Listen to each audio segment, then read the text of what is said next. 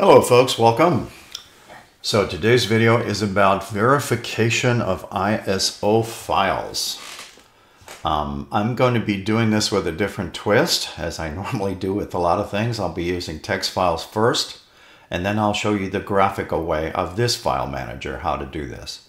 But uh, generally it's used to verify images, to make sure that when we download these, quote, ISO computer images, they are legitimate or files that, um, you know, from the respective Linux distributions are, are not been tampered with.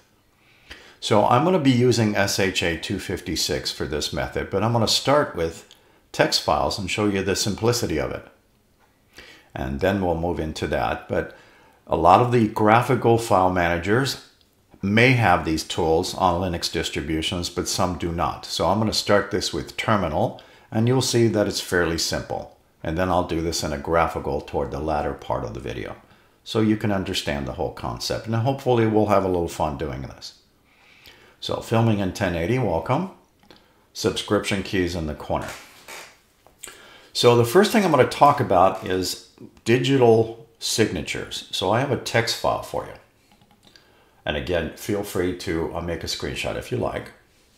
Um, I'm going to try to explain what 256 SHA 256 sum is. It's sometimes called a hash. Um, sometimes um, we can also refer to that as basically a digital fingerprint. And what I'm going to be using is a text file with a very simple word in it. And I'm going to verify that both of these are the same. Even the copy file is the same. And I'll be showing that. A, a practical use, of course, is going to be doing this with ISO files or computer images. But again, feel free, you back this video up, hit pause, do a screenshot. All right, so we're gonna start with text files, these two. What's, what's in them? Not much. It's the word hello. Filming in 1080, by the way, folks, as a reminder. Adjust your YouTube player if necessary. So the copy of this, I just made a copy and it says test copy txt, has the same word in it. And we're going to verify that these are identical. And uh, I can use two methods to do this with. Graphical, a lot of your file managers support those kind of tools and some do not.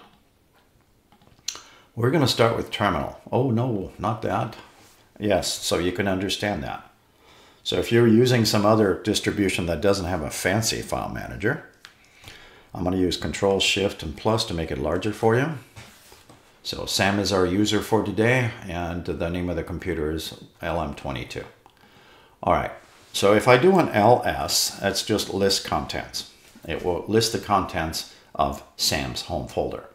The stuff in blue are called directories or folders for short. So we have test with a copy and test with a txt. So what I'm going to do is this should be built in, is the um, SHA 256 sum is the command and the word test.txt. That is the digital signature for that file. 66 alpha is the first three digits. I'm not going to repeat the whole thing as a test. And uh, 35 franc 18 is the ending. What about this file? Now, since that has a space and brackets, you'll see an extra little tip for you in your file manager, or at least this terminal, will display that little funny looking mark on the side. If we don't know what that is, go take a look at your keyboard. To the left of your enter key is your quotation, but underneath there is another symbol. There's a single quote on it. And we're going to have to use that to get this processed properly. But what happens when you don't? So if you type in SHA 256 sum, which is the command, space, and then type in that test, and then space, bracket, copy. We're trying to copy this exactly the way it's being displayed. And uh, sorry, I went too far, dot txt. We're going to get a syntax error. What that means is the Bourne again shell doesn't understand what we're doing. It says you goofed. Yeah, yeah, we did, or I did syntax error, doesn't understand what I'm typing. So to fix this, we need to SHA 256 sum or you can hit the upper arrow key to repeat and then back up. Um, we're going to have to use that single quote and then type in the file name. Test space, this case, copy, bracket, dot txt. Do not forget the other side, which is another single quote. So you're covering it from both ends. Single quote starting, single quote entering or exiting. Or a little tick mark if you want to call it. That's my nickname for it. Now that produced another hash or a 256 um, digital signature. 66 alpha, 35 franc 18. Guess what? They match to a T. Now let's do something more legitimate.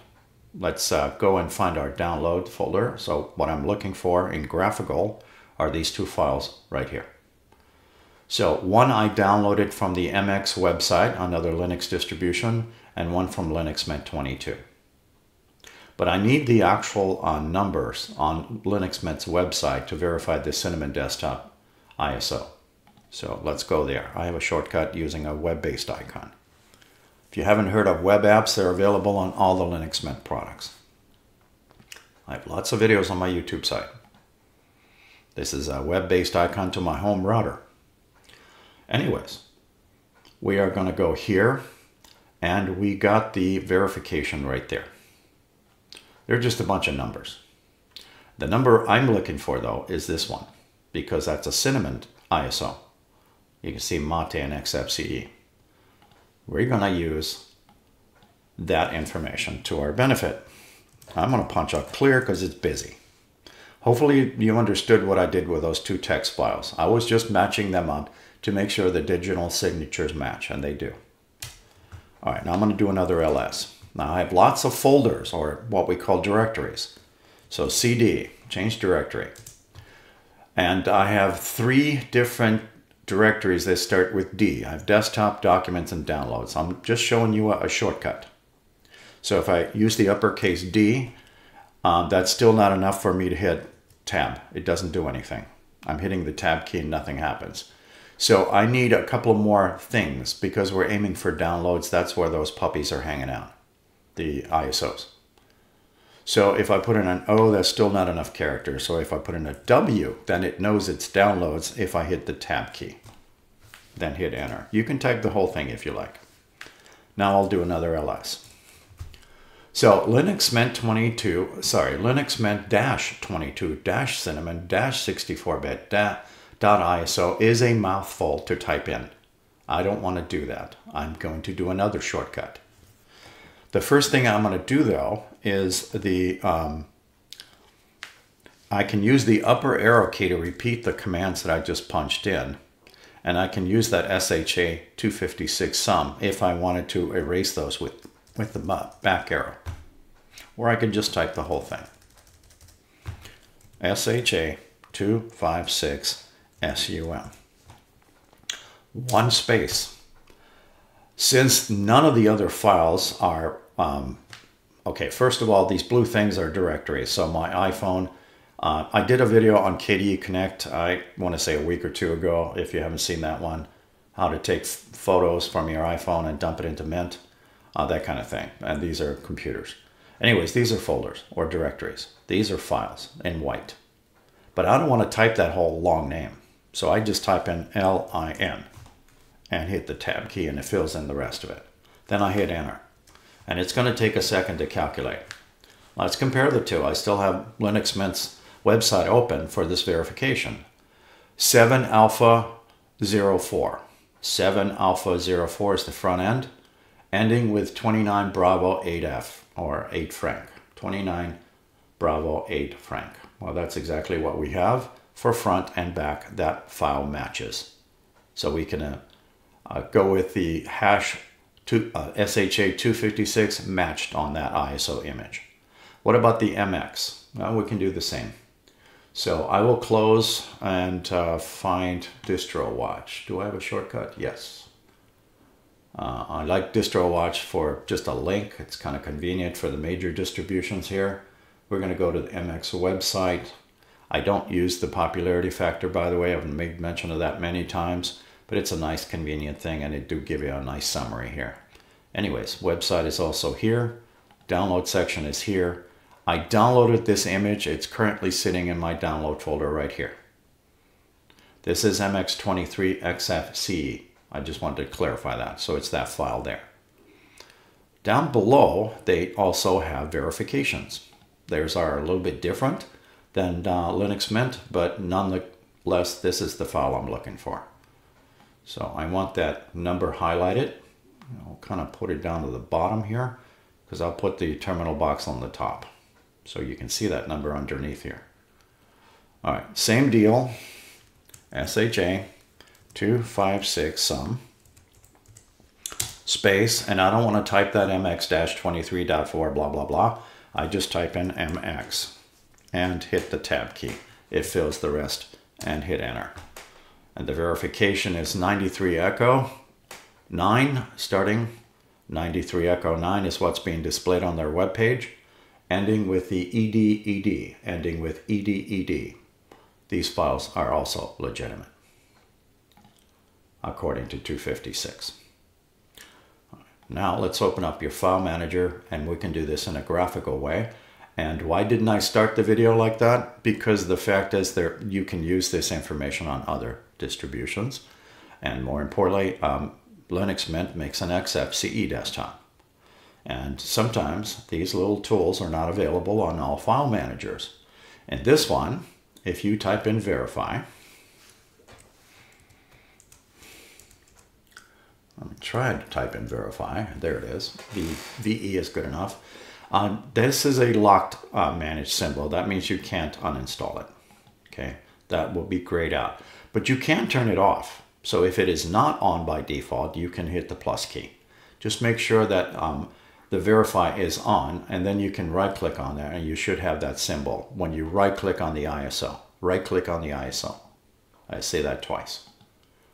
All right, so the first thing it's going to do is calculate a 256. And you can see that's a 7 alpha 04 ending with 29 bravo 8 franc. Well, let's go back to Mint's website. And uh, we know where that is, hopefully, down here. highlighting the number, pulling up the verification certificate, and it is 7A04, that matches, and 29B8F, 29B8F matches. Okay, so that is that image. What about MX's? Well, same thing. We're letting it do a calculation. It doesn't have any files sitting here, so we're going to need to go to their website. So most of the uh, Linux website, I wouldn't say all, but most, you can find that kind of information somewhere on their website well, for all the major distribution anyways. So here's MX's download section and they have a verification side also. And again, we're looking for that, uh, I think it's this file here. So the SHA 256 for that one is 93 echo ending with EDED. 93 echo ending with EDED. We do have a match. So I'm fairly confident that there is uh, no problem with this image. Again, all I'm doing is using SHA 256 today. You can find more information about that online Feel free to make a screenshot of this document if you like, just explaining those two text files and more importantly what this is used for. Again, most of the main use, people do that for ISO downloads or computer images. Thank you for watching.